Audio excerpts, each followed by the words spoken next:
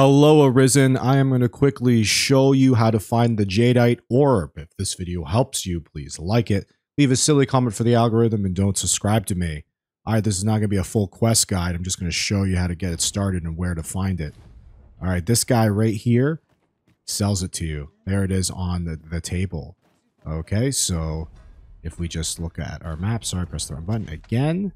I am at Rest Town. This is where I am. Okay. There we go. Just zoom out and zoom back in. Okay, that's where it is. Now you're going to want to buy it. Once you buy it, you can actually make it, uh, have him make two of them. And uh, then you can give it to both guys. But keep in mind, one of them is going to ask you to prove it, uh, that uh, it's a fake or not. And then he's going to take it back to this guy. And then you got to bribe him 2,000, uh, $12,000 in order to tell him, get him to say it's real. Okay, it's worth it because you get your 12,000 back. Anyways, if this video helped you, please like it, leave a silly comment for the algorithm, and don't subscribe to me.